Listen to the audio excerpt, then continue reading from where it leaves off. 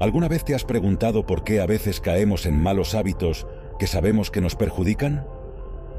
¿Qué nos frena para liberarnos de esos comportamientos que nos mantienen estancados? Los estoicos, esos sabios antiguos, nos aconsejan evitar esos hábitos destructivos que pueden bloquear nuestro crecimiento y evitar que alcancemos nuestro máximo potencial. Entonces, ¿cómo encontramos la fuerza para dejar atrás esos hábitos negativos? ¿Cómo podemos hacer un cambio real en nuestras vidas y encaminarnos hacia la virtud y una vida más plena? Acompáñame en este viaje de autorreflexión, mientras exploramos estas preguntas sin respuesta y buscamos la sabiduría de los estoicos para iluminar nuestro camino hacia una vida más consciente y satisfactoria. El estoicismo nos brinda valiosas pautas para enfrentar nuestras responsabilidades diarias de manera efectiva, manteniendo una mente clara y enfocada. Esta filosofía nos ayuda a cultivar una mentalidad fuerte y resistente, fortaleciendo nuestra fuerza interior sin importar las circunstancias. Los estoicos nos aconsejan evitar hábitos destructivos que obstaculizan nuestro desarrollo y nos impiden alcanzar nuestro máximo potencial. Al final de este video, estarás preparado para afrontar cualquier desafío que encuentres en tu camino. Además, te invitamos a unirte a nuestra comunidad estoica dando me gusta a este video y suscribiéndote a nuestro canal. Gracias por acompañarnos. En primer lugar, recuerda que no debes temer al cambio, ya que todas las cosas nacen de él. Adaptarse al cambio nos proporciona la fuerza necesaria para superar los desafíos de la vida. Como lo enseñaron los antiguos estoicos, ya comprendo la idea de que todo cambia constantemente. Es importante entender que la vida es un proceso en constante transformación. Nuestro mundo y el universo siguen evolucionando eternamente, haciendo que todo sea diferente de lo que era antes. Nada está garantizado para permanecer igual mañana. En lugar de sentir ansiedad por esto, deberíamos aceptarlo y empezar a ver oportunidades en cada nueva situación que surge del cambio. Otro consejo es dejar de preocuparte por las cosas triviales.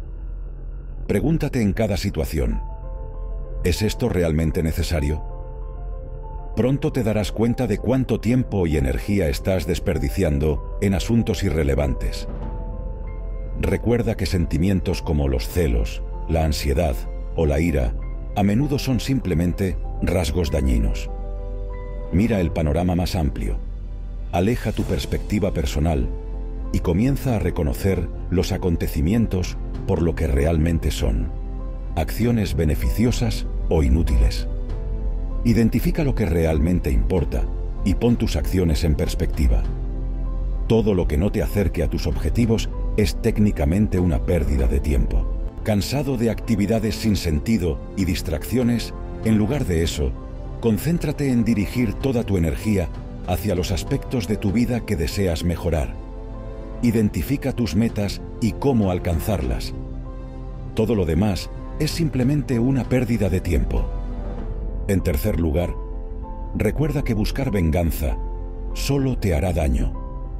Las personas pueden engañarte y la venganza puede parecer tentadora, pero los estoicos te aconsejan resistir firmemente la idea de vengarte. La única persona que realmente te beneficiará en ese momento es tu propio yo. Deshazte de esos impulsos negativos y enfócate en lo que puedes mejorar. No gastes tu energía en el odio hacia los demás. Incluso considera perdonar sus acciones y responder con compasión. Pregúntate si la venganza realmente es la mejor manera de acercarte a tus objetivos. ¿Por qué no canalizar tus esfuerzos hacia avanzar en la vida? Como nos recordó Marco Aurelio, la mejor venganza que puedes tener contra tus enemigos es no ser como ellos. En cuarto lugar, detén la pérdida de tiempo. Nos quejamos de que nuestros días son limitados, pero actuamos como si fueran interminables. Piénsalo. Todos enfrentaremos la muerte en algún momento, y nuestro tiempo en este planeta es muy limitado. A pesar de esto, a menudo lo desperdiciamos sin reflexionar. A veces, simplemente existimos en lugar de vivir plenamente.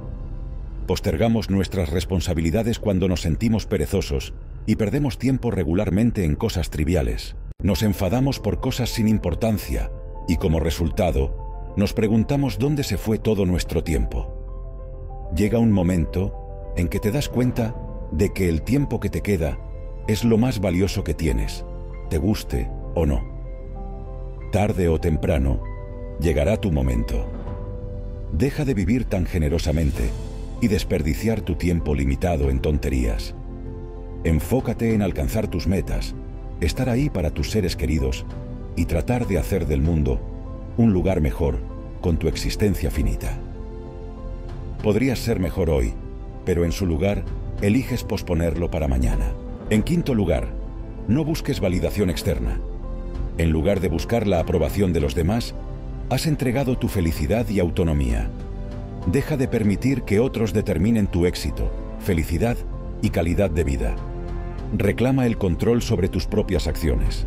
La gente siempre te criticará, algunos incluso lo harán con maldad, esperando que falles. ¿Por qué permitir que otras personas controlen tu éxito y felicidad sin importar lo que pase en la vida? Vive de acuerdo a tus principios internos, esfuérzate por ser una persona justa y siempre busca ser mejor que ayer, siguiendo estos valores saludables. Las opiniones de los demás se volverán cada vez menos importantes en tu vida.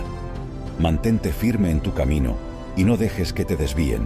En sexto lugar, deja de buscar problemas constantemente, porque tarde o temprano los encontrarás, incluso cuando podría no haber problemas reales. Dependerá de lo que estés buscando. En cualquier situación, ya sea que estés pasando por momentos buenos o malos, siempre puedes encontrar lo positivo o lo negativo en las cosas. Pero ¿por qué seguir perdiendo nuestro tiempo en lo negativo? Deja de asumir el papel de víctima y deshazte de estos obstáculos molestos. Al final, eres el único que decide lo que es bueno y malo, y eres quien determina cómo abordar los problemas. En lugar de verlos como una carga, comienza a verlos como oportunidades cada evento viene con sus propias desventajas y beneficios. Pero, ¿por qué seguir enfocándonos en las desventajas? Deberíamos canalizar nuestro tiempo y energía hacia lo positivo para avanzar en la vida. En el séptimo punto, dejemos de quejarnos. No ganamos nada quejándonos constantemente, ni siquiera cuando estamos solos. Los estoicos siempre canalizaron su energía hacia las cosas que podían cambiar dejando los eventos externos sin quejarse. Enfocarse en quejarse y enojarse es simplemente desperdiciar energía. Si algo ha sucedido y no hay nada que podamos hacer al respecto, ¿por qué quejarnos? En su lugar, deberíamos aprovechar al máximo la situación. Insistir en la autocompasión, gritar, llorar o culpar no resolverá el problema.